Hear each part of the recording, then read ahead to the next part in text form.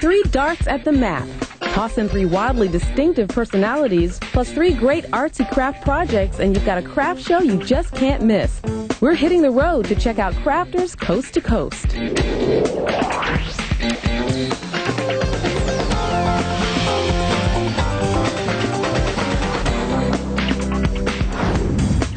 Hey everyone, I'm Angela Martinez. Welcome to Crafters Coast to Coast.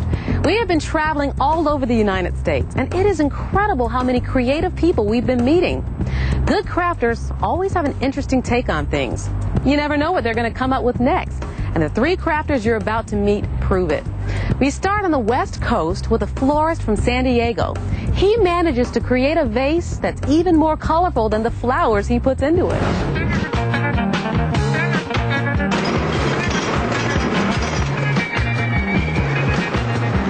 Hi, my name is Doug Garhartt, and I'm a floral designer here in sunny San Diego, California. And today, I'm going to show you how to paint this bowl. First, I want to make sure I don't have any fingerprints inside the bowl. So I'm going to take some glass cleaner, make sure I get it good and wet, and I'm going to clean it. If I leave fingerprints inside the bowl, that means the paint come off and it's not going to hit the glass. Now I'm going to add water to the bowl. I don't want to add too much. Just enough that I can spray onto surface.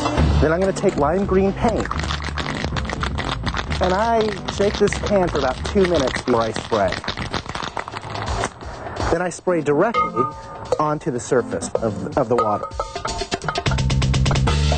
And I'm going to get this kind of swirly pattern in here. And what I want to do is get it to adhere to glass. Now I'm going to spray again. As you can see, the kind of moves around from underneath the water. And what I want to do is get a really cool pattern. After I've gotten the pattern around that I want to go, I'm going to dump the water out. The water needs to be poured out very carefully because I don't want the paint to come out with it. Now, next step is I'm going to dry the bowl. I'm going to speed up the process by using a hair dryer. I don't want to keep it on too long because I don't want to crack the glass. Now that I finished drawing it, I'm going to go to my next step. And I'm going to add in my next color. First, I got to add water back into the bowl. So I'm going in with my cobalt blue. Any cobalt will do. Now I'm going to spray directly the surface, and this time I'm going to cover more surface of the vase. And I'm actually going to spray and turn the vase at the same time. Here's where I start to see the really cool swoops and swirls and they take place. But you see, it's about layers. And different layers have different darknesses. What I want to do is get the paint to overlap each other in certain spots, and that way I will have a darker color. And now I spray and turn, spray and turn, spray and turn, spray and turn, spray and turn, spray and turn. My biceps are starting to kill me. I'm just about finished with this layer. And what I want to do is turn it and pour. The reason I use the bucket with the newspaper is because the paint will stick to the newspaper but not ruin my bucket. So now what I'm going to do is go back and dry the bowl again.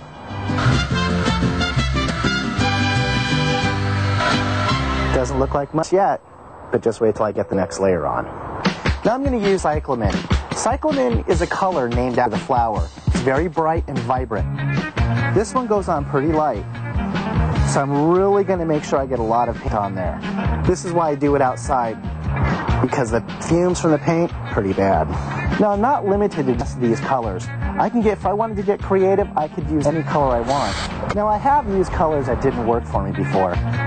And when that happens, very easy to start over. You just off. I'm going to pour the hot pink water out.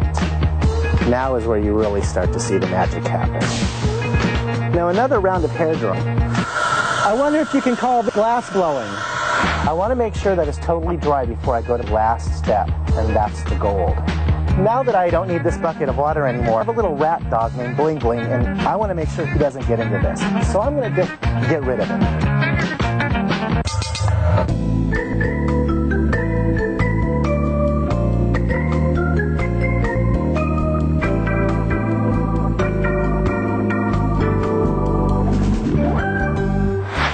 Now this is my last, I'm going to go with the 24 karat gold spray paint.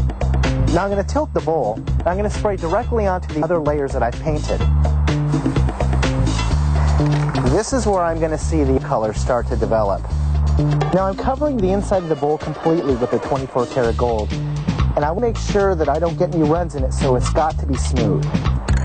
Now I'm very carefully getting the top lip here.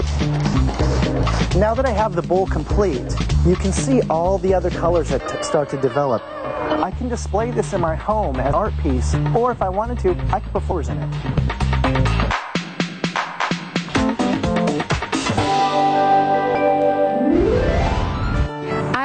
Like it better with the flowers. That way you can really enjoy the color and design of the paint.